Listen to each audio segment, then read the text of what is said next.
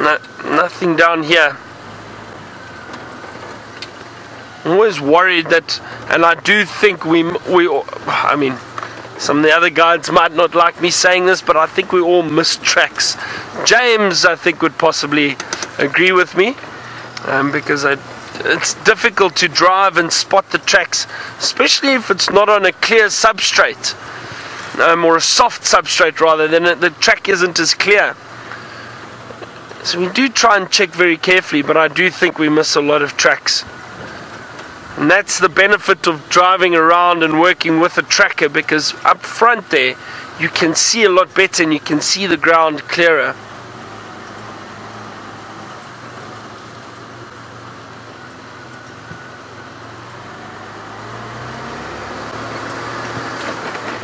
Okay, oh, thank you. I just got an update from James. Sounds like we have a surprise. Oh, I'm far from that area, unfortunately. Ah, that's frustrating. It sounds like, okay, I'll tell you because um, it sounds like there's possibly wild dog heading in this direction onto onto Vuyatela or onto Djuma, but right on the other side of the property. Now I'm far from there and I've got a long little windy road to get through.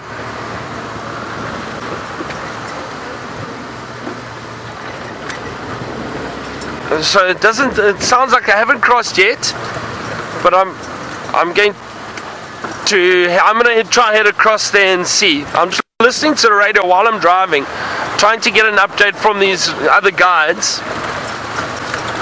But we are very far. It's let's just listen and, and for a little bit.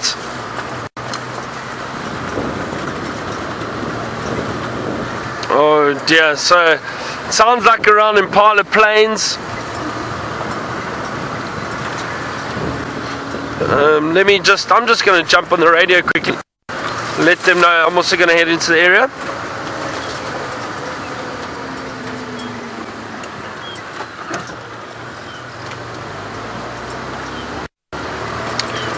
So, uh, just a few of the other guides. As soon as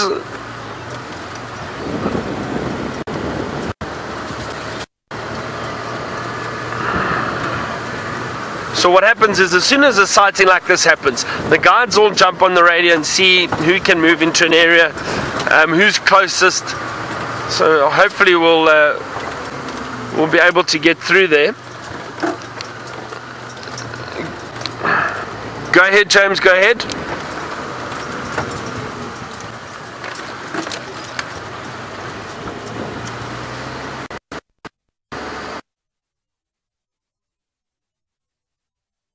very quickly.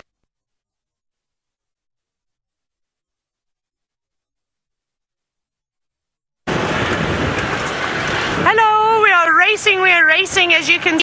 Long time no chat to. Um, we are charging towards wild dogs. I just to one of the Chitwa guides now. I bumped into him on our way back from Cheetah Plains and he says that they're moving quite quickly and they're moving east. So I think Byron's going along the power lines road. I think we need to check a little bit further east of that, in fact.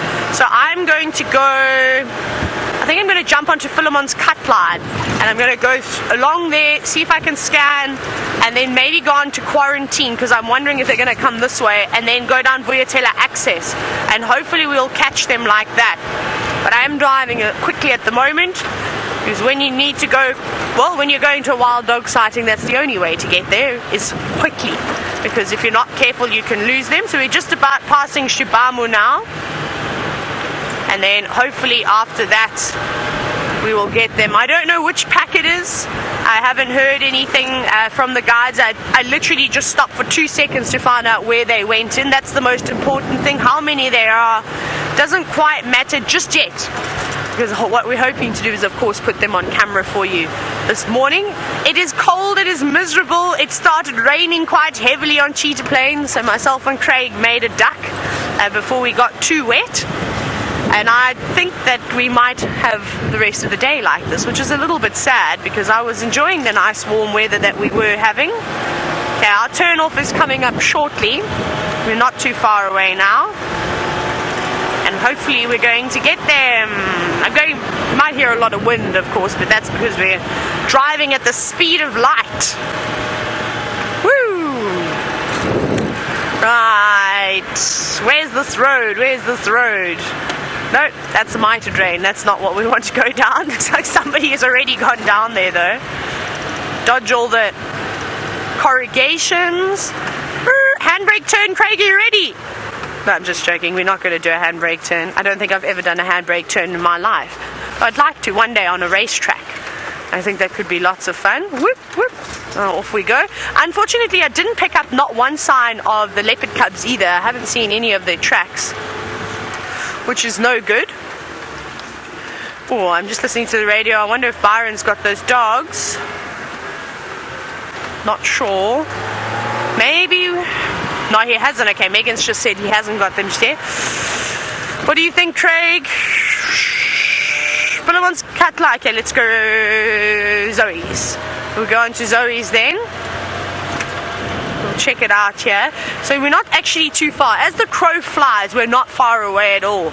But because a lot of these roads don't just go straight through the bush, it means that we have to sort of meander around and it can take a little bit longer and I haven't driven down here this morning so I will keep my eyes out to see if I can see any cat tracks and I'll check some of the bigger trees here just to make sure that there isn't a leopard of anything perhaps laying along one Oh, and I've also forgot to tell you as we're racing on to chase after wild dogs, I went past Gwen's Den and have a look to see if my favourite warthog uh, was there sleeping in his burrow. He was not, so I wonder if he hasn't changed burrows. Something is living in there though, because there's a fresh track, and even after the rain, you could still see that something had been walking in and out. I didn't get out to go and have a look in case there was still something inside of that den and it came charging out towards me. I wouldn't want that. And so it'll be nice to try and figure out where my favorite warthog is now sleeping. But I'm sure he'll come back to that burrow eventually. It's such a good one. It looks like it's quite big. I'd imagine it's the equivalent of a four bedroomed home. It's very spacious, all open plan. It's quite lovely. Okay, over the uh, elephants have been digging in the road, making all sorts of mess for us. Now, Craig, have you got your eyes open? Are you looking for a flash of white? I know I am. That's what we're looking for at the moment. Is that you might not see the dogs because the grass is quite tall, but when they run, they sort of bounce. You all know that that bounce that they do, and you'll see that white tail sticking up, that that flat uh, flat coloration, that flash coloration. All right, now I know all of you are very excited now, Christina, you're wondering if there is a speed limit. Yes, with the exception of wild dogs. you can ask any guide in the Sabi Sand. We are very good at following the speed limits. We don't go too quickly normally. That's an impala running around here. And uh, so typically you, you don't want to be going more than about 25 kilometers an hour.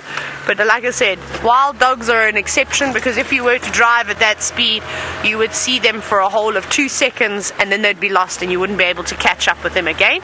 So it's always good to be careful. And so when you are driving, we look around quite a bit and we never really go, even though it seems like we're going crazy fast, we're not going more than about 35 kilometers an hour. I'd say an absolute maximum 40 kilometers an hour, but it's very difficult to go that quickly on these roads. So you don't want to you don't want to do anything like that. Um, so so yeah, so you're just driving about like now the speed that I'm going, I'm probably only going about 15 k's an hour, 15 kilometers an hour, which is not very fast. But to you, as you're sitting watching this and watching the vegetation speed past you, it might look like I'm, I'm warping through everything. But don't worry, I'm not. I don't want to hit an animal uh, that I think is the guide's thing Thank you that they want to keep off of their list. And it is very, very easy because you see roadkill all over the world. When I was in Australia, I saw so many wombats and foxes. I know foxes are not indigenous. Uh, there were lots of foxes, lots of uh, little kangaroos and things all lying on the side of the road. And we get the same thing in South Africa. I've seen dead vultures. I've seen lots of dead animals. I've seen even sometimes in the Kruger National Park people are speeding, and that is normally watched very carefully. The speed limit in the Kruger. Dead cheetah. I've come. I've seen a dead lion on the side of the road which had been hit by a big truck. So these things do happen. So you do have to be very careful. So you won't find the guides going very fast. With the exception, of course, wild dogs, like I said. But then you're cautious. You make sure that you're not doing anything too silly. Hearing mongoose squeaking every now and then, but I don't think that's at us. so it's a race against time at the moment to try and figure out where exactly they cross. Byron and I are both doing a team effort and hopefully we'll get lucky, but he's also driving really fast. Let's go across to him. I am indeed Taylor. I think I got an update that they're going down going down Zoe's Road towards Impala Plains.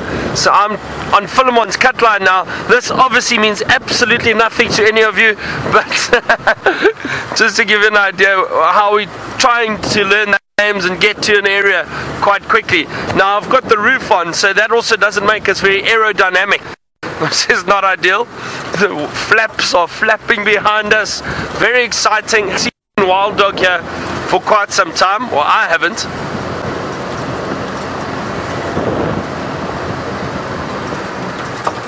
Let's see.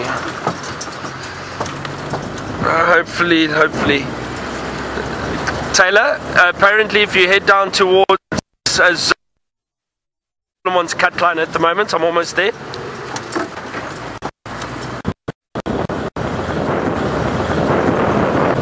Giving Taylor an update. I think she missed the other one earlier while she was live.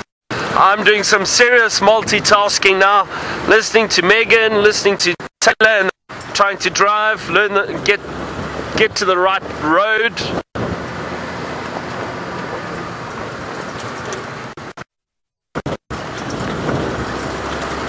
But this is very exciting.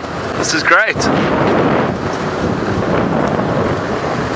And you never know. Sometimes following wild dogs, because they run so erratically and all over the show, they often flush out other predators like leopards. Uh, many times before I've followed wild dogs the tree because the wild dogs are running past.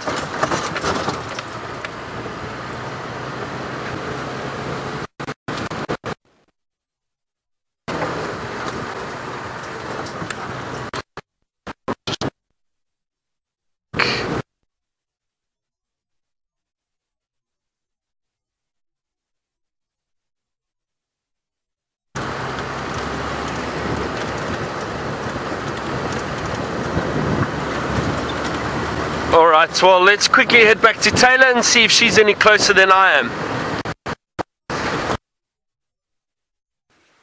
Well, I'm just seeing Aubrey, and I just want to have a chat to Aubrey. Orbs, I've just come from Impala Plains. Loot. Uh, okay, do they still have visual of them? Okay. Okay, cool. Okay, you go ahead. I've just come from there. I'm gonna go around on the main road, okay? So, sorry everyone, I was just chatting to Aubrey. I couldn't get hold of him on the radio. Uh, so we're just trying to make a plan. We've just, we were just on, on Impala Plains Road and I didn't see anything there. So what we're going to do is I think we're going to go all the way to the cut line, see exactly where they've crossed in, and then I think that way we'll have a better chance. So there's the Balanites tree. We're just going to go back the way we came very quickly. And the problem with wild dogs is of course, is that they don't just go in one direction. They do this, they turn around, go back the way that they've just came. And, and that's, of course, if they're picking up different scents of animals and they want to be hunting on a day like today because there's a bit of wind, which can work to their advantage. Let's see. And this is quite nice also as I'm just, we're just scanning through the bushes. Of course, we still got the roof on, so you'll see that. It doesn't look like there is anything down there. Who's gonna win? yeah, I'm gonna. Uh, I've just come from him. Oh, hang on. We just we just trying to we're trying to see as check as Aubrey got them. Chilipan zone, just so you know. Also, um, Okay, cool. Um, I'm gonna. we had them said heading He hasn't. He hasn't seen them. I've just come from Impala Plains. They're not there. I'm gonna go all the way along Gowrie Main and see where they've crossed exactly. I'll see you now. There we go. So team effort. Uh, this is the probably the best thing to do is to chat constantly keep in contact with the other guides because they move so quickly like with a lot of the different animals out here it's like when we do searching for leopards and things like that it's easier if you all have a plan you all check an area and you do an army sweep because that way uh, you've got a better chance of finding them. And even though we keep passing each other and driving the same roads, that doesn't matter at all. Um, that's fine. We're triple checking, quadruple checking, going over where the elephants are digging again. And then this way, I'm really hoping that our teamwork is going to pay off. This is my favorite. This is always lots of fun. High action, driving fast, the adrenaline is pumping. Are we going to see these dogs? What do you think, Craig? Do you think we're going to get them? Craig is positive. He's excited. He said he he wants to find them before Byron gets them. So that is our challenge this morning. We're both, both Byron and I and Craig. I don't know how competitive Senzo is just yet, but we're all pretty competitive, so it's always a race against time uh, to see who gets them first. And of course, it's just for, it's just fun. It's nothing serious. If you saw how we acted in camp, you would laugh at us. We're all like a big family that are brothers and sisters. With the amounting, amount of teasing that goes on in camp, it's above average, I would say, in any working environment. But it's what keeps us sane, and I think it what gives us such a good working relationship with with one another. So that's really nice. Okay, are we gonna do almost that Gowrie main again? this is so much fun. Okay. Let's check down. No, nothing on Philemon's cut line yet. Feel like I'm a chameleon or something, searching, looking around for all sorts of things. Now, Adele, you're wondering if the wild dogs have certain territories or do they just go all over? They sort of do a little bit of both. You will see them marking, you'll see the, the males urinating and then they'll often defecate, and of course, those two ways are territorial markings. But because dogs cover such a massive piece of ground, unless they're denning, they might not have a permanent territory, if that makes sense. But if they've got uh, they've got a den site, a big termite mound, that's where they're going to be going every single night until the young pups are big enough and I can actually start moving around. A lot of vehicle activity here, lots of turning around, circles. Someone might have been doing donuts here, so I wonder if we're not perhaps getting warmer as to where those dogs had crossed in. We are about to hit Triple M, just up here. So I'm just keeping my eye on the ground. I haven't seen any tracks crossing out just yet. I don't know which pack it is. I can't tell you how many it is.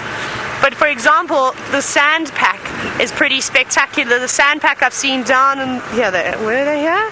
Oh. Okay, what we're going to do is I'm going to quickly have a chat to these guys and hopefully they're going to let us know where the dogs are. Let's go back across to Byron.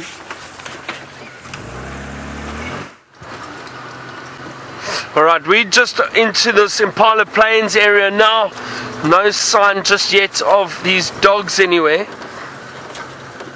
Uh, just checking around see if I see tracks, but I'm going to head a little bit further north. Taylor's checking the southern side and the boundary.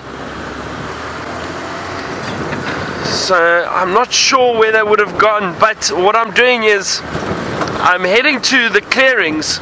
So this Impala Plains area is a lovely clearing, and then further up there's a nice clearing, and then I'm going to head back around towards the quarantine area, those clearings, because these wild dogs often know their territories very well and they prefer hunting.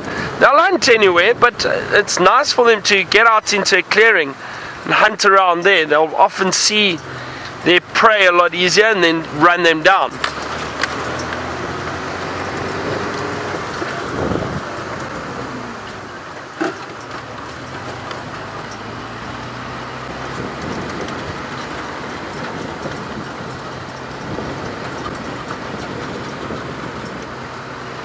Sorry, hold on a second. I'm just trying to listen to the update.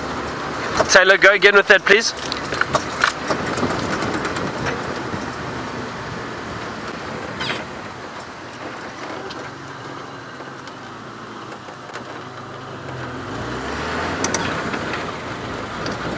Okay, I'm not sure where, which direction now. No one. Uh, you see, the thing is with wild dog, unless you've got somebody following them and staying with them, it's very difficult to pick up where they can give you an exact direction. Aubrey, I've come from Impala Plains. I'm heading north. Um, I wasn't sure which direction they are heading in.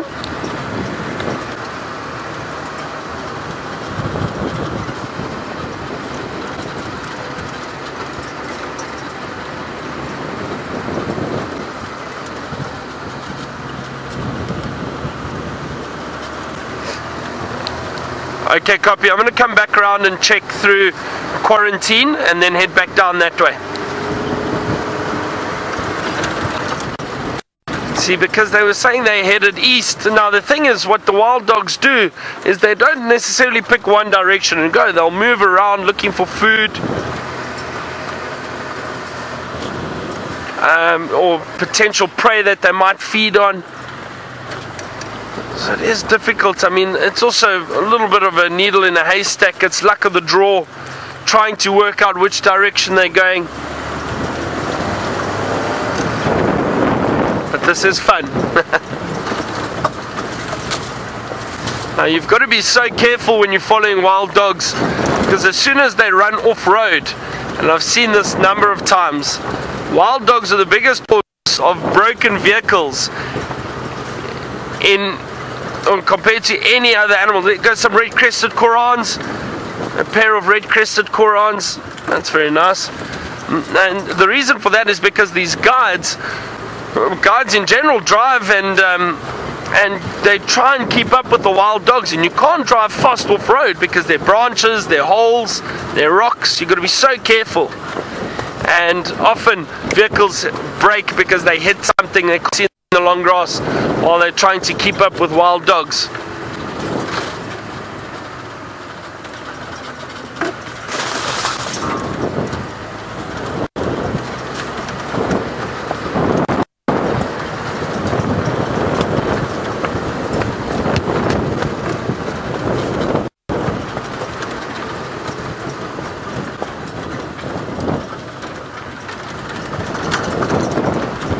We're gonna have to scan these areas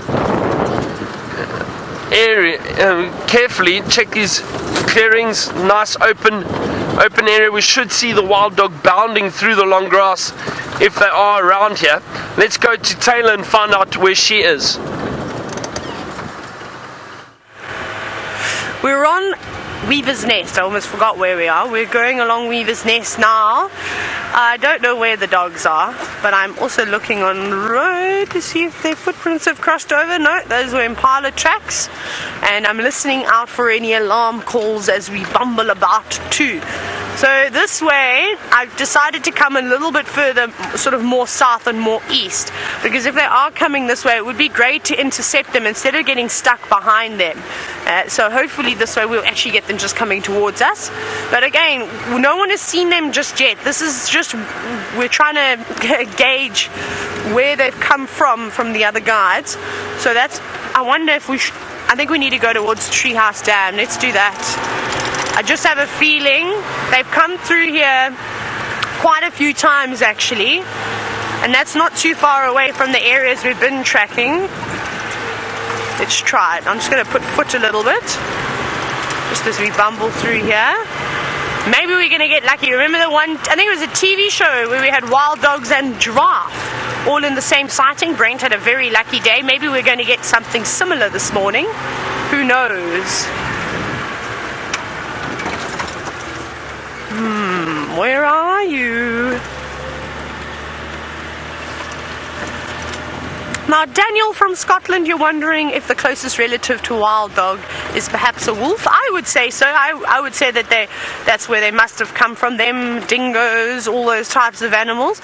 Actually, you know what? I took a picture the other day when I was in Australia. I was at a um, like a sanctuary. Forgotten what it's called now and we're at we're here there's no wild dogs at treehouse dam just yet and maybe we'll just have a little listen in a moment and they had this whole thing about where the dingoes had uh, sort of started from and how they ended up being dingoes. So I'll need to have a look for that picture again because I think they had African wild dogs on there too, which would be quite interesting. Now there's nothing here. There's no alarm calls of anything, not even a bird chirping at the moment. I don't think we're in the right spot. I don't think that we're checking the right areas, unfortunately. And this is always a tough thing, is that if you didn't see the animal for yourself, You know, not everybody knows the, this property very well, especially the guides that don't traverse on here. So they could be doing their absolute best to try and give us where they think that they went in, but they might not know the road. So they could be saying Impala Plains, but actually they crossed all the way down near the gate or even further uh, sort of south or west. So this is the hard thing because I haven't seen any wild dog tracks yet. The only thing I did see when I went to the, the junction of Triple M and Gowrie Main, of course, was some leopard tracks, some female leopard tracks who I suspect were shadows. But it looks like somebody had already checked them from earlier this morning. And I don't know where they went exactly. So if we don't come right here, we might go and quickly see if we can follow up on those leopard tracks. If they all haven't been squashed now as everyone's racing around searching for wild dogs. Maybe we're going to have to go down towards the gate and just do the whole of Vuyatela access again and start weaving around there. They also do that the one day they, they crossed in at a similar point, then they went towards Sydney's Dam and they came back again and they spent most of the morning racing around on our traverse. It was the last time that I saw the wild dogs, and we had that amazing sighting. Remember, we had that really funny one where one of the dogs they were all playing very and came running in on the road and slid on its face. That was quite funny. if any of you remember those, that was quite cool. They were all dancing. They were they were doing a great show. Maybe we're going to see that again. They just said to us last time you found us too easily. This time, we're going to make you work a little bit, and I don't mind working for something like a wild dog. That's fine. Okay, let's go. We're just on Philemon's cut line now. Let's just look behind us. No. Okay, so Byron is catching all the updates, which is great on the Game Drive radio. He said something about them going towards Djuma Dam. Okay. And we'll just we'll go back towards quarantine. This should be a good spot. We're at a sort of a vantage point here, one of the highest points on the property. We might be able to see in between all, all the thick trees some flashes of white tails darting through the long grass. Not just yet, though. We're still searching. Mm. There's Aubrey. So that's we've all got a similar idea. Maybe we even need to go further. Maybe they could really be past Central. That's how quickly these dogs move, and the amount of ground that they can cover in one day is phenomenal. So my most exciting experience with just as to how quickly dogs can can move was uh, I've had a couple. I'll tell you a Zambian one, but uh, let me tell you the one in the Sabi Sand, the Toulon pack versus the Sand pack. Uh, were having a bit of a squabble. They spent the whole morning chasing each other from Lion Sands, Kirkman, Sabi Sabi boundary, all the way to the northern boundary of Sabi Sabi, and all the way towards, uh, I can't even remember what those properties are called, they're smaller properties, but Londolozi and Singita are not too far. And they came up and down and did that about 10 times. It was outrageous in the space of a morning safari. It was really, really special. And then in Zambia, I'll never forget picking up the dogs, picking up guests at Jeki Airstrip, which is in the Zambezi National Park. And then to camp, it was about a four hour drive through the reserve before we got to the camp that I worked at. That afternoon, the dogs were at our camp. Unbelievable that they'd moved through the heat of the day and it gets hot there too and got all the way down there. So that was quite spectacular to see that. So they can travel massive distances. Ah. Has got a bit more of an update. I think he can give you the latest news. So let's go across to him. Well, I don't know where to even start looking. One of the other guides said they saw tracks of them heading towards quarantine. We drove around quarantine a few times. No sign of them. I've headed down to the dam and just checking the clearings around here quickly. We'll do a loop back up. Sometimes, and I'm being serious, you can smell the wild dog if they are close. Um, oh, I'm sure I can smell wild dog, yeah.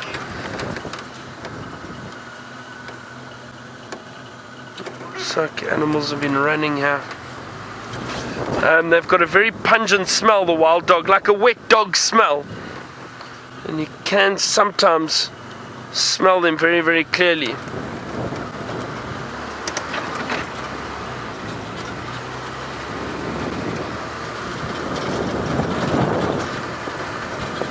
You you definitely smell it. What's that? Is that an impala? A lot of impala around here, so that just means there definitely no wild dog here. Well, not right now, at least. The impalas seem very relaxed.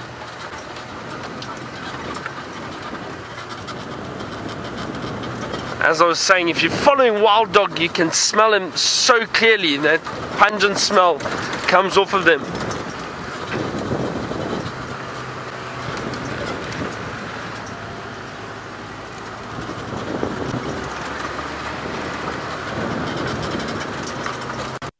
See, the other thing is the wild dogs don't always necessarily just run along the road.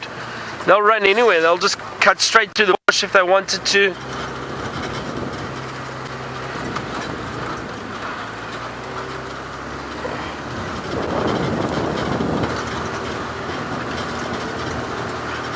Some of you asked the other day how many kilometers we cover in a our kilometer readings definitely going to increase today. Increase today. Hang on, what are these? Here we go. Yeah, tracks here.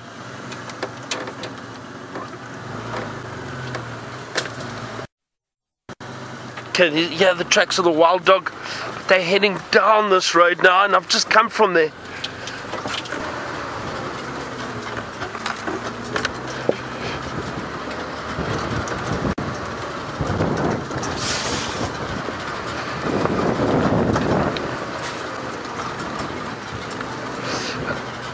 Aubrey and Taylor, if you copy, um, we've got tracks of these animals coming down from quarantine, heading directly east down towards Twin Dams Road.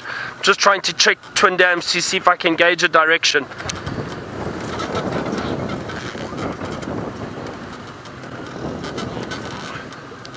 Affirmative, affirm.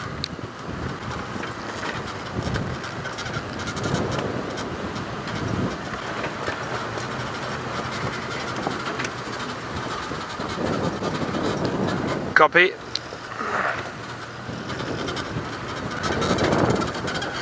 I'm just having a look here, everyone. I'm just trying to have a look now. This is so difficult because I don't know. All those impalas seem very relaxed, but those tracks were coming straight down there. And this substrate, this gr this ground over here, is quite hard. So I'm not sure. I wonder if they didn't just cut straight line.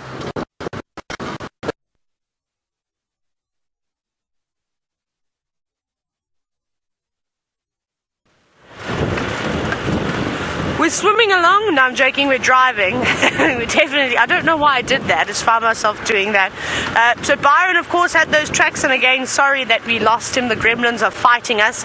They obviously don't want to see us get those wild dogs, but we won't let that happen, will we, Craig?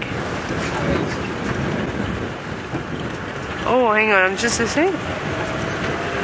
Right, what we're gonna do, we're gonna go around Central, I think. So Byron said he quickly called in on the radio. You may have heard him. I'm just processing everything in my head. Um, that, of course, where's he going? They're going east, straight east. Now I'm trying to think of their routes that they like to go. It means we need to go over the dam wall, and then it means that we're going to have to go central, probably Vulture's Nest, maybe towards Inyala Road North. They like to go through there. They could be, even at this time, because it seems like they're moving quite quickly, they could already be at Buffelshoek Dam. We don't actually know. Let's just check maybe Bateleur Road, even any of those roads. But I think we need to get ahead of them. Ooh, ooh. So you might see me on the dam cam. Craving and I will wave as if we can get through here. Very eroded. Okay. Hi everyone, waving to the dam cam as I race across the dam wall. Craig's looking at you as well, so you have to wave back. okay, let's go. I've got a good feeling. I'm getting this warm feeling inside now. Let's see if we're gonna get lucky. Very quickly. Right. Zoom! off again. We have to can't we can't go too fast because otherwise we we get air and um, we don't want to ramp any of the bumps. Otherwise we'll lose Craig and the camera and maybe me.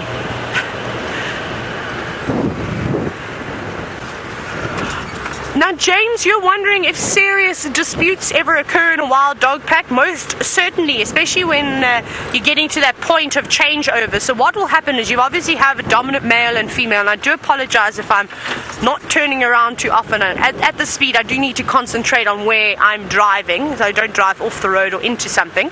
Um, so, yes, they, it does happen indeed. Um, so, to the point where the, the, the alpha male uh, is starting to get older, there will be a new male uh, or uh, maybe the most oldest male, the strongest male, that will start to challenge him to take over that position. And we saw the last time we saw the sand pack, we noticed that the old boy, who is a machine of a wild dog, very tattered, his one eye was completely red, it looked like blood vessels or something had burst into his eye. And that was uh, that wasn't really nice. He was also salivating. His lips were quite droopy. I think that he'd been boxing with with another member in the pack because he is getting old now. He's still pretty strong though. So yes, they definitely can. Um, but normally they sort themselves out pretty quickly. None of the animals essentially want to get to the point where they have to kill uh, one another. You've seen it with wild dogs. They rely on working together. It's very important that they've all got a very strong bond. That just helps, of course, the process of hunting and just being able to understand uh, one another. And so yeah, so things like that happen. It's like a family, really. You know, you have an argument with your brother or sister, and you might not speak for half an hour, but then afterwards you're best mates again. That's the type of thing that will happen in a tight knit family group with animals too. Bit of disputes, but they put it behind them. I don't think that they hold grudges like we as humans can.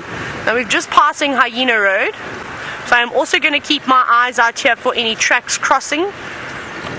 Mongoose, dwarf mongoose is squeaking again at the back. There are lots of them around today. I haven't seen them though, just keep hearing them as we drive past. Okay, here's Vulture's Nest. Let's see if there are any tracks here. No. Nothing here. We'll keep going.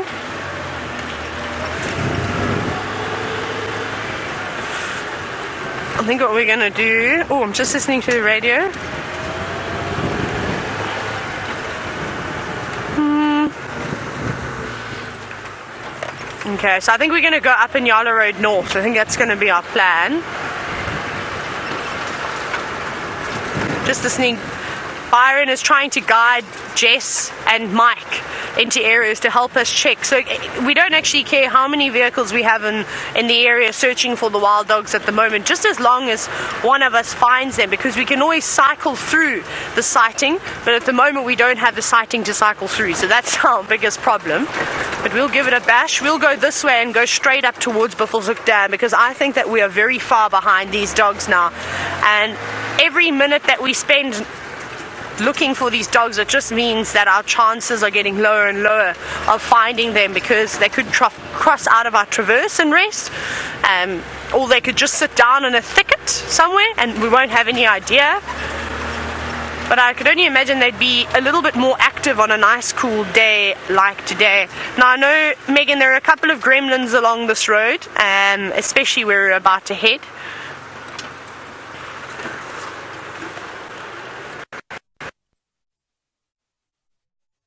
Byron before we lose signal. So go and jump back on board with him.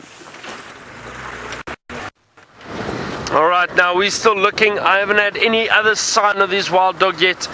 We're checking on the on the opposite side of the drainage line just to see, but here it's very, very thick.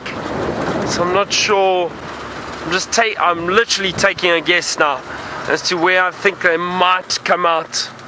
Might start moving around.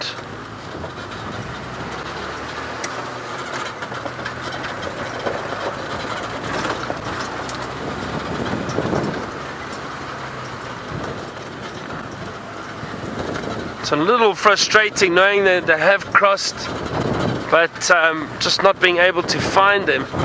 Well, not yet. It's too soon to panic, everyone. we might still have some luck.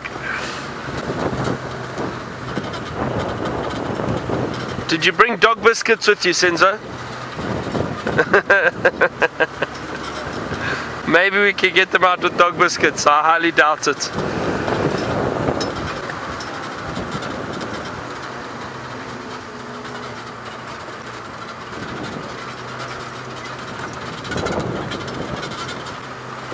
Really have. oh, tip of the day. Now, what can the tip of the day be? Um, yeah, I don't know. I mean, I suppose there's got to be something with the wild dog.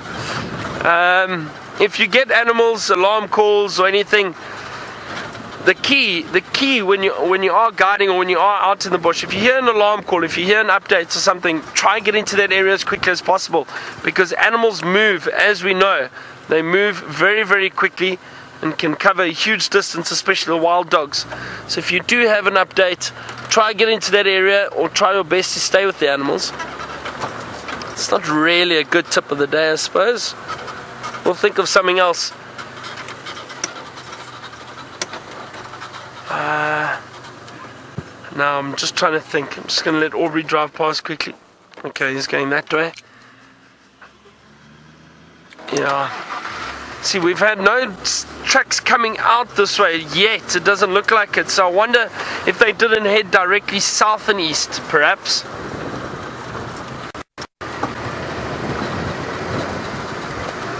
See, and that's why it's also so important to know the area that you're working in very carefully because you then know where the next road is, which road to try and take, road to try and take if you're following tracks, where the crossing points are. That obviously comes with time and experience working in an area, but it is crucial, especially when following animals. Now, Alright, well, Taylor sounds like she's around Twin Dams. Let's find out how it's going down there. I've actually moved right out of there. I'm on at the moment. I've just passed Buffelshoek Dam and I'm going towards Buffelshoek Cutline. I don't know why I'm just all of a sudden having a sort of feeling in my belly, my gut, that these dogs have perhaps crossed out already. So I want to check the cut line. I want to check Buffelshoek. Because if Byron only picked up on those tracks, he did, and luckily he did because we haven't found anything. I think that the distance between where they were and the cut line is not very far, especially if they go straight through the bush. So we're going to jump up here and we're going to go back towards Gowrie cut line and then sort of see that way because there was nothing, I couldn't see anything from the dam wall. I definitely had a look around. So let's try this. Make sure there's no cars. Very, very important, of course, when you come onto cut lines is to make sure that you actually look for other vehicles. I know it sounds silly because those of you who live in cities do it every single day and all the time, but when you're out in the bush, you become quite complacent because the chances of you seeing lots of other vehicles while on drive and people going fast is quite small. But you would not want to, well, end off second best with a big truck, a food delivery truck. Mm, I see another car parked down there, but I wonder if that is not Mike or Jess that Byron sort of um, said to maybe go and wait that side. So maybe they are just standing by, just hanging tight. Nothing just yet though. And you would quite clearly see the dog tracks going across the road too. You would see all the sand being kicked up, especially when with the pace that they move in. Now, you've wondered, as we are still, still searching, of course, for these dogs, what time of the day do they hunt? Uh, preferably during the middle of the day, so during the heat of the day when most of the other predators other than cheetah are out resting. However, with wild dogs and cheetah, they're not the biggest carnivores out there. And so what they have to do, unfortunately, is try and move in between lions and leopards because if they were to also hunt at night, they're in direct competition with them. So this way, you're alleviating some of that pressure and they can move during the during the heat of the day. Oh wow. Just going to try and pull off the road here. I can't go anywhere. Sorry, Craig. But you can see a beautiful big kudu. And he is very relaxed at the moment. He's off to a female behind the bushes. I think he's going to do a flehmen grimace for us. Yes, turn this way, girl, so we can see his expression. Now, I'm going to have to reverse. Oh no, you're actually right. Just of course that bar that you can see is just from the the roof that we've got on. What a lovely bull. Not as big as what we have seen though. But like I said, definitely an indication that the dogs have not passed through here. We would have heard, heard the deep, sort of gruff bark of a kudu very easily. It would have sort of traveled through all the drainage systems, but he is stunning and off he goes behind the thicket. How cool is that? Now, in case you are wondering what happened to Brent, we unfortunately lost signal with him, so I'm not sure if he's going to be coming back anytime soon. Hopefully, he'll be around again for the sunset safari. Now, I'm not going to go racing off because there is another car ahead, so if they do see something, we should be good. But let's have another look at these kudus just in this lovely long grass. There's a whole family here. Oh, just thought I'd heard something, but the only thing that I can hear are the oxpeckers, so there must be a couple more kudu off into the distance. You can see that they're also listening out, some looking towards us and listening. And these guys are great to have around. They definitely alert you they definitely alert everything around them if they knew something was here. Now, you're probably thinking, why would kudu alarm for something like wild dogs? Because wild dogs are much smaller than kudu and not necessarily on the menu. Um, but there are a lot of young kudu around at the rem- at the moment. At the moment, kudu give birth just after the rainy season. So as we start to come into autumn, and I have seen they're difficult to see. They're hiding in the thicket on the other side of the road there are a couple of really small ones. And the dogs would come in and harass a herd like this and eventually try and distract the adults to snatch up a young kudu calf. There's definitely a possibility. And if there was an injured adult kudu too, they might try and take that on. I think we underestimate the strength of animals. Just look at last night's example. Look how strong those hyenas were as they were sort of having a go at that buffalo calf, and I've seen footage of a even older buffalo. It was a couple of years old being taken down by an entire clan of hyenas. So wild dogs are super strong. Just nipping at the animal, constantly causing injury, you know, getting it at the ankles, will definitely weaken it, and they would be able to take something down. Hello, girl. Thank you. He's just standing staring for one last look. They are beautiful creatures. They must be one of the most magnificent antelope out in Africa. I know that there are plenty more, and we're now going to see lots more of them with Brent and the rest of the crew when they go up tomorrow, but I don't think that anything can beat a kudu. One animal that I would love to show you is, of course, the largest antelope in the world, and that's an eland. That's one of my favorites. If you see a big eland bull, that is a beast of an animal. Um, they're massive. They almost get to, I think the males can get to about, oh, between 600 and 800 kilograms, somewhere around there. They're very, very big. Maybe a little bit less than that. Maybe I'm getting a bit too excited. But I feel like I haven't seen a kudu in such a long time. I think we're going to go down in Vubu Road and then go all the way back towards Vuyatela Dam. Try our luck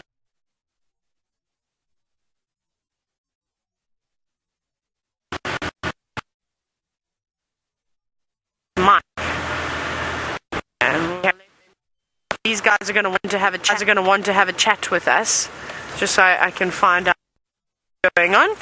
Into Byron's vehicle, the man who found the wild dog tracks, and hopefully some actual find us some actual wild dogs. Oh, I hope so too, Taylor. But it doesn't look like anything just yet. We're still looking very sure which direction they decided to go to. They could also just have turned around and moved in the opposite direction.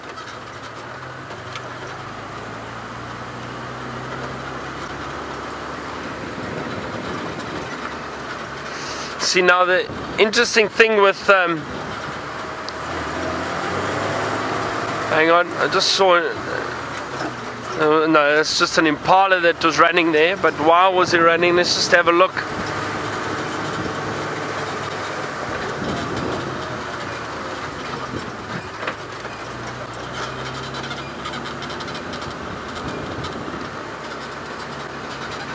So I think um, I think the problem is what happens is a lot of these animals. Sorry, I'm just turn that radio down for a second. So that was just an impala that ran across here. Um, now, the thing with the wild dog is because they're moving around constantly and always trying to hunt, and they'll change directions, try to run down their prey, flush out some of these impala.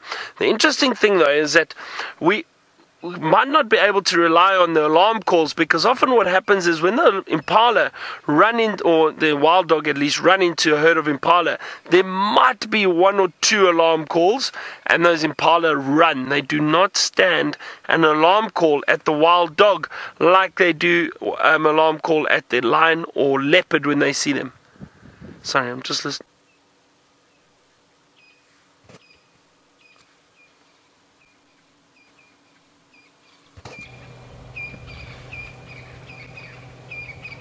Sorry, I'm just listening to an update.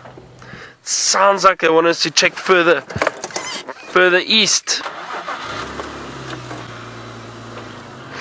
Um, so as I was saying, the thing with the wild dog is because the the animals don't stand an, an alarm call at them because they get so nerve or they, they get so worried because the wild dog just run in and hunt. They don't ambush their prey. So animals like leopard and lion, the impala will stand an alarm call at them, so we can then hear where they are. With wild dog, it doesn't happen. You don't often hear the alarm calls from animals. Maybe wildebeest, but that's because wildebeest are quite big. They'll stand and they'll alarm call and just kind of congregate in a circle to prevent the dog from getting in. And it's about to pass us. So I'm just going to, oh, there we go. I'm just going to have a quick chat to them. Morning, everyone. How's Mike?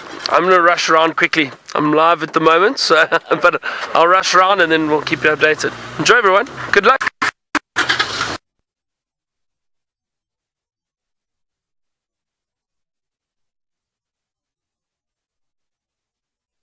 Hello, hello, hello. We're back with I've got some, I don't know if it's good news, but um, Aubrey's just said he also came up Inyala Road North and he had the dogs crossing over our tire tracks. So they're not far, they're going east. So we must have just been ahead of them. We must have been just too far ahead of them. But I think they're going to cross out at Cheetah Cut Line. Whether we're going to make it or not, I'm not sure. I'm racing now. It's a nice big open road. We're not too far away. We've just got to go all the way down there. okay, that's Hyena Road. Buffelshoek Dam is not too far from here, but we're going to keep going straight. Maybe we're going to get them. I think Jess is just a little bit ahead of us, so she'll let us know if she does see any of their tracks crossing out. Let's go. Let's go, go, go. Lots of excitement this morning, of course. I can't believe that. I don't know how far ahead of them we must have been, whether we were just driving and I wasn't looking behind me and they were probably just running on the road after me. Hey, Craig. I think that's what they probably would have been doing. Just to tease us. And this is quite nice. Again, we're higher up, so I'm able to look down. And I don't know why they're using the drainage lines today, which is interesting. I haven't seen the dogs here, well, seen them once using the drainage systems around in Vuba Road and those spots.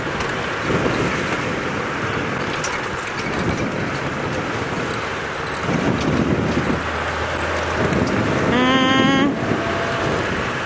No, there's no tracks just yet here. Megan, you're not trying to talk to me, are you? I'm just hearing beeps, but I'm not sure if it's coming from you or from the Game Drive radio. Not Megan. Okay, just checking. You know what?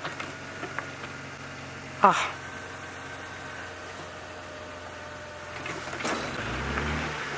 Ooh, this is interesting. So, Aubrey's just said the tracks cross central again. They come back, so they, they didn't. They came through and they turned around, going to the south.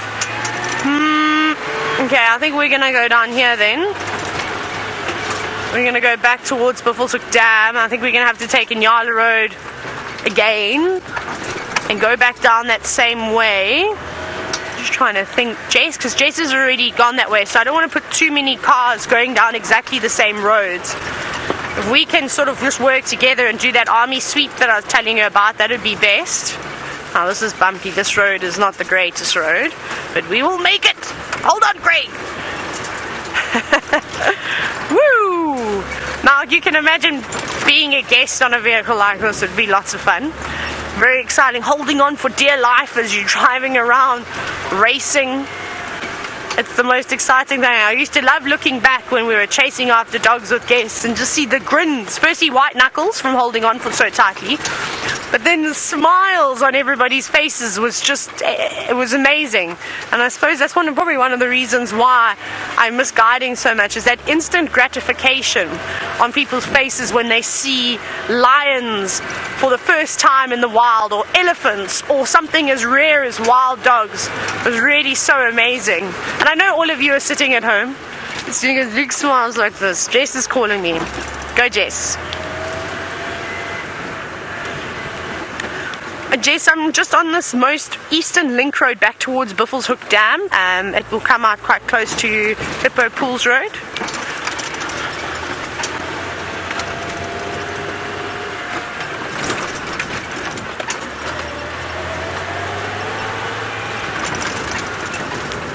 Copy. Thank you. Um, yeah, I'm going to keep going. I'm thinking I might just do Nyala Road North back towards Central again. Woo! Okay, so Jason's going to keep going down Cheetah Cutline. Bounce, bounce. Which is quite good. Hang on, why, why are these magpie shrikes going ballistic?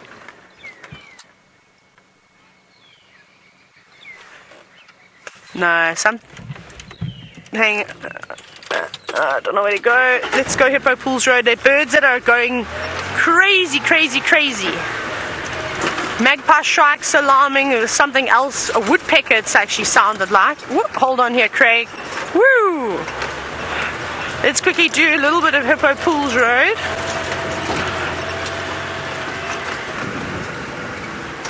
Let's check that they haven't stopped for a drink. Oh, Wendy, behave. Wendy also has the turning circle of a 16 wheeler truck, which is nice. Okay, off we go again. I can hear Byron again. I wonder where Byron's been. Right. Okay, just updating on everything again. We'll keep searching. Now I know this must be hard for you to keep watching, but there's birds going. You can hear them, eh, Craig?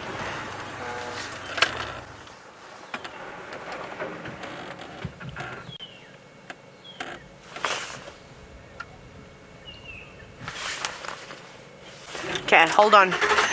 They're gone. They've gone back south. Aubrey's updating. They did. They they went on to Bat. They went Nyala Road North, Bateleur Road. They're going south from there. When we're gonna go along Hippo Pools, then we're gonna go Cheetah Cutline, and we're gonna intercept them. We're gonna get these dogs. I'm determined this morning.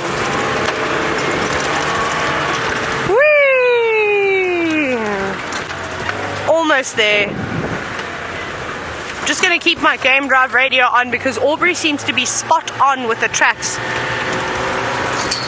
And if he can just keep updating, even if he's just behind, then we can use our speed to get in front of those areas, unless they do again a sneaky turn and then go back north again, which is possible. And hopefully there's a lot of impala, a lot of Steenbok and duiker along Cheetah Cut line, also a lot of kudu. Maybe one of those animals will grab the attention of the wild dog and stall them for a little bit. Don't do that. Whee! Craig, are you having fun? Yeah. But your hands are not in the air. you can only have fun, I only know you're having fun when you sit and you do this. And again, if in case you're all worried that we're being absolutely ridiculous with the way we drive, I can promise you we're really not going that fast. It just looks like it. I don't think I've gone over 30, 30 kilometers, maybe 35 k's once this morning. There I was going probably about 25. But on these little windy roads, it's it's really really funny. And I wish I could show you, but my speedometer doesn't work. But I always used to, because guests would be like, oh my goodness, when you're chasing after dogs, and I'd say, hold on. They go, how, how fast are you going to go? And I- I'd drive, and I'd say, look. And they would just sit there completely gobsmacked, going, it feels like you're doing 150 kilometers an hour. It's so funny, actually. Okay, safaris are so much fun. I think you all need to try and come on one at least. At least once in your life. It doesn't have to necessarily be to the Sabi Sand, it can be anywhere. But just to go on a safari, be on an open vehicle, being exposed by nature, chasing after imaginary wild dogs or dogs that we can't find. It's so exciting and it's all about the experience. Ah, okay. So Byron has now decided I'm going to be the one that looks for the dogs. He's going to look for something else. I'm not sure what that is, but I'm sure he will tell you. Well, I'm still in this area, so if if we hear any sign or anything, but there are a number of vehicles that are coming in to try and find these wild dogs. I'm still in this area, but we'll see what else we can find. I haven't bumped into anything else yet, so um, but we'll see what we can find. Um, I'm just going to take it a bit slower now and then just see maybe we hear some alarm calls, if any, um, or just see animals running around. But we'll see what else we can find.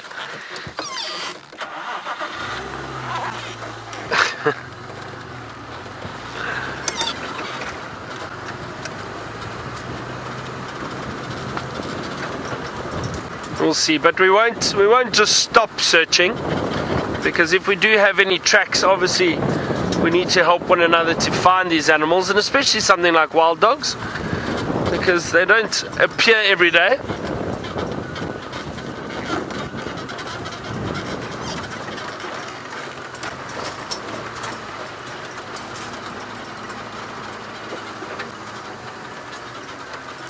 Uh, Michael, you- you've asked what predators react to a child crying on a vehicle. If, a, if you have an infant crying on the back of a vehicle, Michael, all of them. I've seen all the predators react to it. Um, leopards, leopards lift their heads and look up at the vehicle. Lions, um, a hyena would be so curious anyway. But but that sound of an infant crying, it's a different sound. It sounds almost like a distress call, and I've seen animals react to it. So they just kind of have a look, which is not ideal. That's why most most lodges, and this this is something important for those of you planning a trip to to Africa. If you want to go on safari, most places don't really allow young children. The age limit is usually around six or seven years old to go, um, uh, yeah, about six or seven years old to go on um, on the game drive themselves. So that is something to remember if you are planning a trip.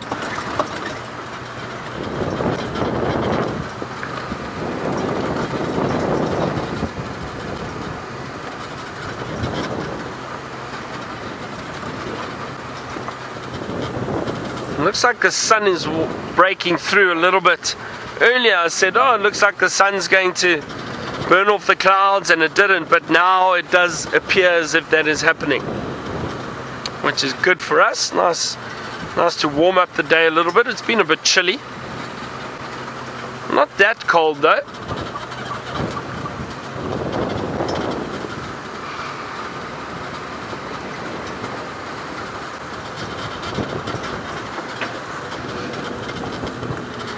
And can I tell you, the biggest biggest problem of all is because of the rain this morning. We're a bit in a bit of a rush trying to get the roofs on and get the vehicles ready for for the safari. So I do not have my coffee with me, everyone. This morning, no thermos, no coffee. It's uh, it's a shame. It's a disappointment. It's the way it happens sometimes. Senzo's very upset with me. He was looking forward to a cup of coffee. He hasn't spoken to me for the past hour.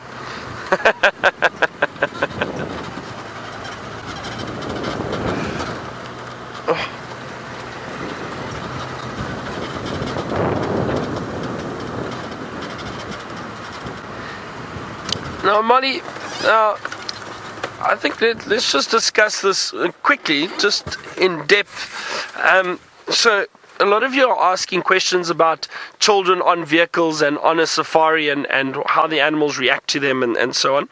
Now, the a, an old briefing that we used to do for guests when they came on safari, we, we would say, please, whatever you do, don't stand up because the animals see the vehicle as a whole. Um, a, a, as a unit rather, and then if you break up, you break the silhouette of the vehicle, and they don't see the people on the vehicle or whatever. That's actually not technically true. I have driven and seen animals look up at people on the vehicle before. They definitely see the people on the vehicle, but they associate us with the vehicle. So that's something that passes by, it doesn't harm or, or bother them, so they don't react to it. So they'll just, they're actually afraid of the vehicle, so they move away from the vehicle. So the but if you do stand up and move around too much, you do stand out more, and the animals pick up on that movement. So whenever we have animals moving closer to the vehicles, we always tell the guests, please stay seated. Don't move too quickly. If you're taking photos, move slowly because the animals do react to the movement, which you don't want. Now, with regards to children, it's not necessarily a case of the animals picking up on the scent of a child or anything like that. It's only necessarily, and from what I've seen, it's if they, if the child is screaming or, or crying or making a noise, moving around, that's when the animals pick up on them. Not if they're just sitting quietly on the vehicle. It'll be fine. It'll just be like another person on the vehicle. But like I said, most lodges they prefer and recommend that there's an age limit of about six or seven years old for young kids to come on a safari and on the vehicle.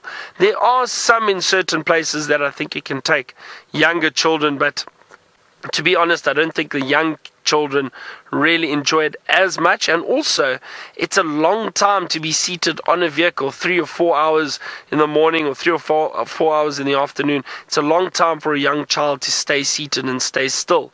So it does become a bit difficult. But again, you can manage the situation, especially if you're a family and you've got the vehicle to yourself. You can do what you want. So you can maybe go out for an hour, and return. All depends. All depends on the decision of the family. Um, but like I said, there's generally an age limit of about six or seven, especially in big five areas with most of the lodges, because the animals can react to kids moving around or crying on a vehicle, young children, which you don't want to happen. So I hope that answers all your questions a little bit better.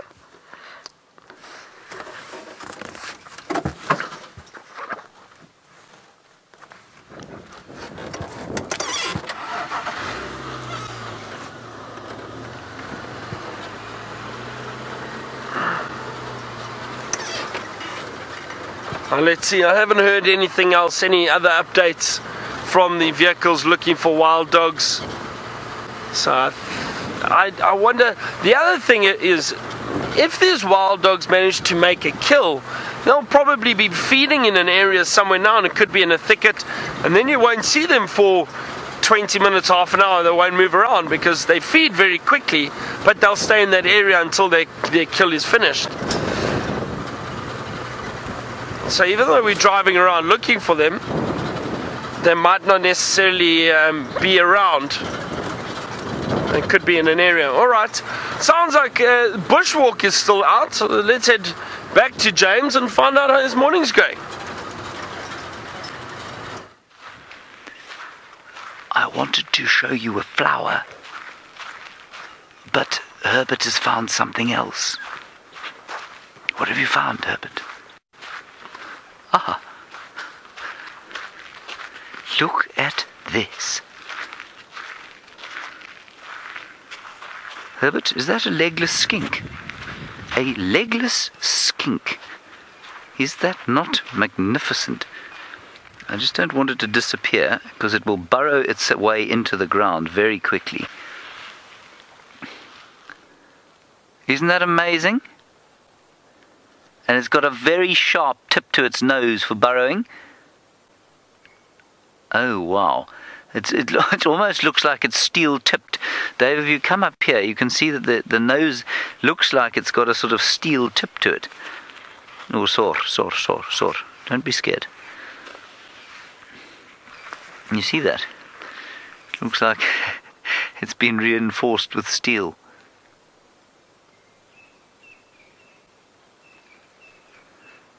Now let's see where it goes. I suspect it will have a burrow in here.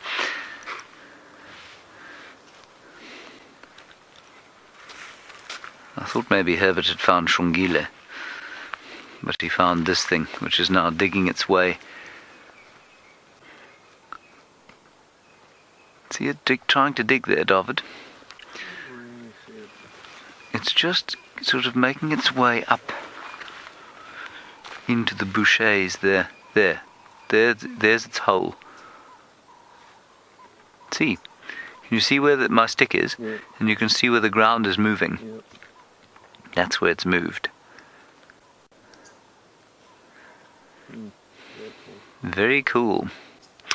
Alrighty, we're going to continue up the road. Um, I'll just quickly show you this flower and I'll tell you about it next time. It smells disgusting. It is of uh, Gymnosporia buxifolia, but Taylor, before they disappear, has got some wonderful elephants. He is going to disappear, I'm afraid. He's a very cheeky young teenager at the moment who is off on his own mission and he's trying to throw a couple of branches at us. He's also shaken his head at me and flared his ears out at me. He is very rude this morning. Very, very, very rude, but now he's disappearing off and down and into the thicket. But you can just see how thick the vegetation is. Now, I don't know if he's tailing a breeding herd or what his story is. He's all on his own. So I reckon he's only just recently um, been pushed out. Let me see if I can angle the car a little bit better. But it is quite tough. Uh, just remember, we don't off road for elephants. We let them be, but we might be able to stick with them for a little bit longer. He seems to have settled down now. Now, I'm not even shocked or surprised that the elephant behaved the way he did towards me, and I think one of the reasons why is because we have a roof on this morning, and I think he's just gone, I'm irritated, I'm annoyed, and oh, what is that strange thing on top of your head? Now I'm even more angry and annoyed. And that's what he did. So then he started throwing the branches at us, and it was really quite funny, of course, and all I did was I just reprimanded him, I raised my voice to him. And and then he settled down. Now he's walked off. He's probably sulking. I wouldn't blame him for sulking. It must be really hard to have your whole whole family turn against you. Uh, just a quick update, of course, on the wild dogs. We haven't had any of the tracks coming out this way. I'm on Leadwood Road at the moment, so I think that these dogs are having a sleep somewhere. I think they've probably had a busy morning and have sat down in a drainage line somewhere near um, Inyala Road, between Inyala Road, North Central, Bateleur, Vulture's Nest, that entire Mulwati system and all its uh, little crevices that are in there. They're very difficult for us to drive, and there are not too many roads around there either. So we'll have to wait, and maybe for this afternoon safari, we're going to get wild dogs. I don't actually want to go home, I just want to keep driving around until we find them. But yeah, that was quite nice and good to see an elephant. How great was that? I'm very happy about that. It was a quick view of one, but an elephant nonetheless. And every day that I see an elephant, I'm very, very happy. Hopefully he settles down and he's not so grumpy for the rest of the day. There are my favorite young elephant bulls and young elephant cows that are about 10 years old. Also seem to be quite temperamental too. so that was lots of fun. I definitely had Craig and I chuckling for a couple of minutes. Right, let's go through here. Now, I'm not sure what else we're going to see this morning, but we're going to go back towards Twin Dams now. We'll, we'll be passing Twin Dams. I think we'll take Shibamu Road home and start making our way back towards quarantine to see maybe we can pop past the wildebeest our dear friends the wildebeest who we very quickly saw on the pre-show this morning and then they went running off but i'm not sure if all the animals are still going to be around and up on quarantine because if those wild dogs did go through there which they clearly did because byron had all of their tracks uh, they probably would have gone and scattered everywhere but maybe it's been some time since they were there, so who knows? They could come back together again and all be out on the nice open plains enjoying the morning sun. A bit windy still today. Let's just check here at Baboon Pan very quickly. Now that it's light, but I didn't see any tracks this morning. I didn't can't see anything up in the tops of the trees. Shall take Shibamu. Oh my goodness! Absolutely flown by. Right, to Byron and see see what he's doing and see he's ready.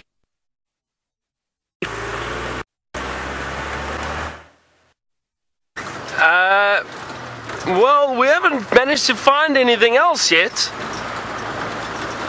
I'm heading back in the direction of Vuyatela Dam. I always get confused. Everyone's got a different name for it. Is it Djuma Dam, Vuyatela Dam, Gowrie Dam? I don't know what it, what it is. What the uh, main main lodge dam? I think Djuma Dam is on Cheetah Plains. So this one is Vuyatela Dam. But uh, then I've heard other people call it Gowrie Dam. So uh, I don't know. We're going to the dam in front of the camp. Senzo. Uh, who knows? Maybe the wild dog decides to come visit us there. exciting morning though. Very exciting morning. Always exciting to hear predators coming through and trying to find them and even if we don't, we had tracks of them though, so who knows? They could pop out later. Is that a fish eagle? I think it is. Ah, lovely. Can you see from there? There we go. Beautiful fish eagle at the dam in front of the camp. I love seeing these fish eagles around. One of my favorite eagles. Would be wonderful to watch it actually fishing.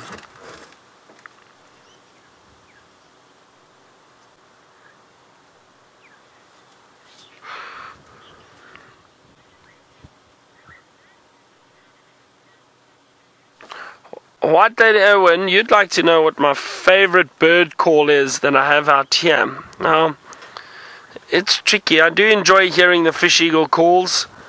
Um, I I must admit, I think the nocturnal calls.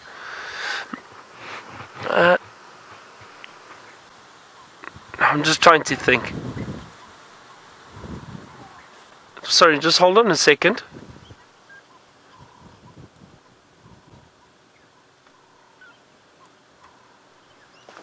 Thought I could hear some alarm calls in the distance. So, White Lady Owen, uh, my favorite bird calls, one would be the black crown tchagra. Uh, now, let me just play that one for you quickly, just to give you an idea of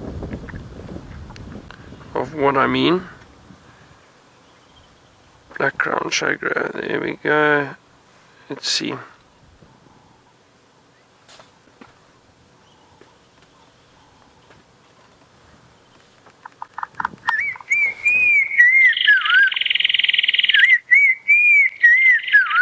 Very melodious whistle.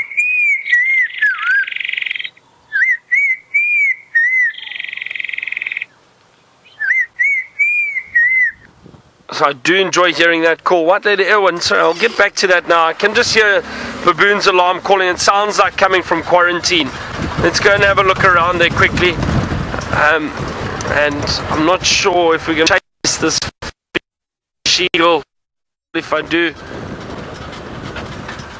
just gonna drive past slowly, hopefully it stays there.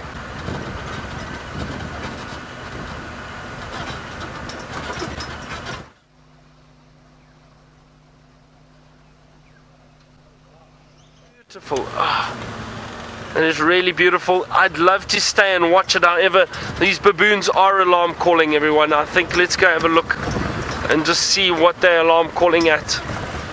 Um, and but uh, I think you are still seeing it on the dam cam, so you can still see that beautiful fish eagle sitting up there. Um, that's the closest I think I've ever got to a fish, got to a fish eagle. Again, I feel like these eagles have been put to the test today. Test today, with us racing around a little bit. Some very relaxed impala here. Um, so uh, White Lady Erwin, getting back to your question of the favorite bird calls, a lot of the nocturnal calls are my favorite. So the uh, fiery necked nightjar. Uh, oh wait, let's see if I can do it.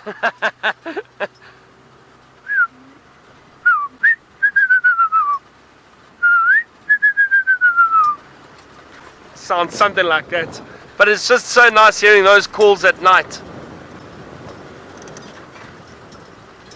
Very, very nice nocturnal calls. Hold on everyone, I'm just going to switch off here for a second. Let's just hear where these baboons are alarm calling. Let's see if we can hear them again.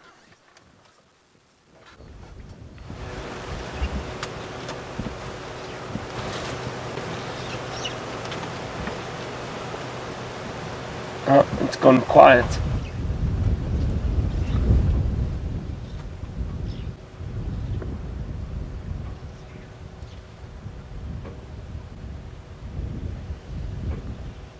No, can't hear anything.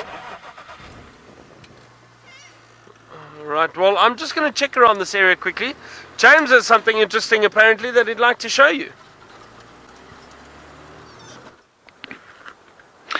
The most interesting thing about what I'm holding here is its quite gargantuan size. This, everybody, is the dung of an elephant. It is very large. It is bigger than my head. Not as big as my ego mind, but as big as my head. Yes. Um, and um, look, we've broken these things up endlessly together and seen what's in them. But I just thought this one was so very large and possibly related uh, or came out of the elephant that Taylor saw earlier. Or maybe the elephant actually, you know when this was. This was from yesterday. I think this is the one that Connor had yesterday, that very big bull that eventually walked down the western fringes of quarantine yesterday afternoon. A very large piece of dung. Now, I believe you've been talking about your favourite night calls. Uh, um, and I was uh, asked to share what my favourite night call is. I, I don't know. I think my favourite night call is probably the, as common as it is. I think the common call is the um, the uh, what is it, the fiery neck nightjar? That would be my favourite night call. But uh, I mean, I've, I've, shared with you very often my favourite day call, so I'm not going to do that again. But I, what I will do is say that my second favourite bird that calls during the day is over here somewhere. There are two of them, and they are the southern boubou, and they go. The one goes, and the other goes.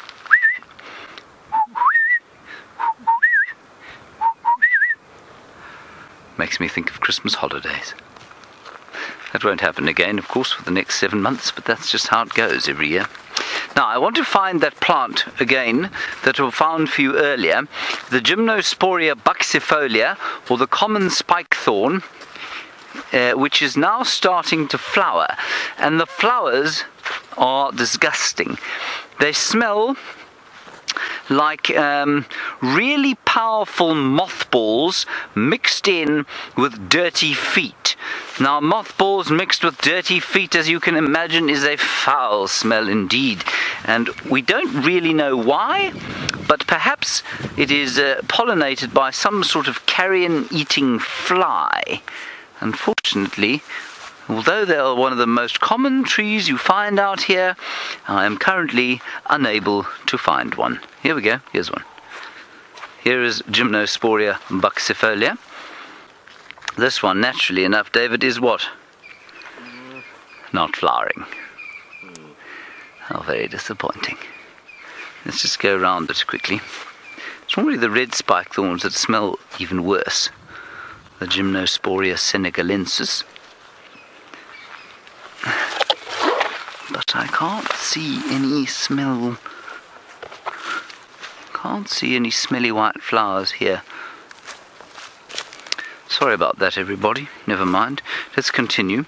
We're not too far from home at the moment, and there was a really nice herd of impala mixed in with some nyalas not too far from here. Did you see them, David? They were just in amongst the guarri bushes here. There they are. They're watching us. The wildebeest, actually, they're not nyala. Wildebeest and impala. making their way sort of probably into suboptimal terrain for them. One of them's lying down. Probably, uh, you know, maybe trying to get out of the wind. Maybe that's why they're not on the clearings at the moment. There is a bit of a wind, but I've got to tell you, the temperature is very pleasant. It hasn't been cold at all today. So some strange early winter weather that we're having. Let's sneak a little bit closer. David, of course, looks a little bit like a sort of badly dressed superhero because he's got the rain cover on the back of the backpack and it looks like a sort of poor cape. I'm just going to walk slowly towards them, see if we can't get a nice view.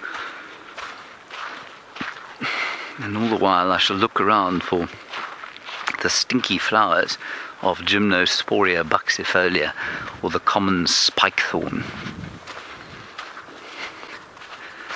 There we go.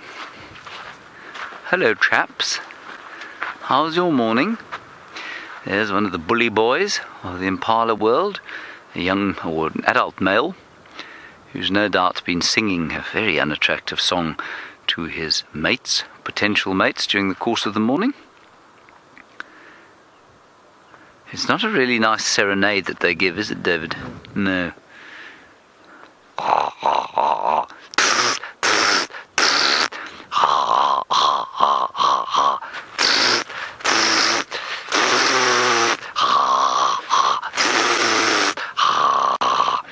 I have found that uh, singing like that at a woman does not work at all. Byron, I'm not sure.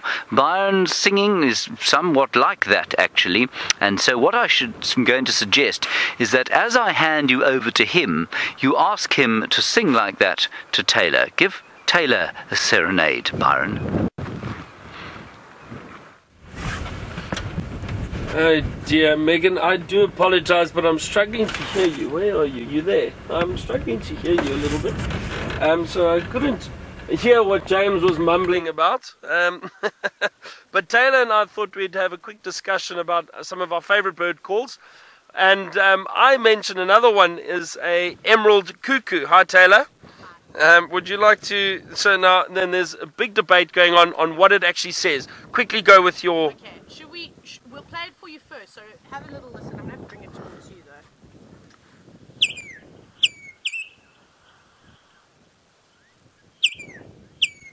Very clear. I know what it is saying.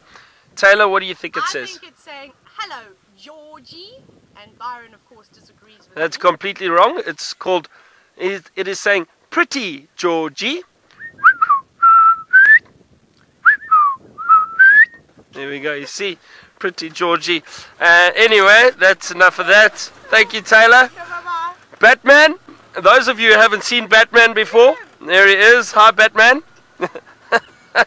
We're not saying he is Batman. We're just saying that we've never seen Craig and Batman in the same room at the same time.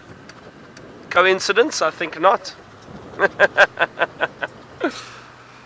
now, that the show is just about to end. It was an exciting show. Almost had wild dogs very close. They might still be on the property somewhere. So we are definitely going to have a look around this afternoon. Try search for leopards again, lions, but anything, anything that we find. And we've James had some interesting little things this morning. Some wonderful birds. Maybe we do some more birding this afternoon. We'll see. Whatever pops up. It's quite a cool day at the moment, so I do think we might still get a lot of movement from the predators. Um, so who knows what the afternoon holds for us? Maybe some elephant arrive. But um, it has been fun. Luckily, it stopped raining. We're probably going to take the roofs off this afternoon. I don't think we'll need them. But um, I think a big goodbye and thank you from James and Taylor, and of course the final control. Thank you, ladies, in the final control. The voices in my head. But um, I think especially a big thank you to all of you for all your questions, all your comments. It's always nice hearing from you. And um, we hope you've all enjoyed this morning's drive, this morning's safari. Sunrise safari without a real sunrise. But we'll see you this afternoon, same time, and we will see what we can find. Thank you very much again, everybody. Have a wonderful day. Good start to the week wherever you are around the world. We'll see you all later. Goodbye.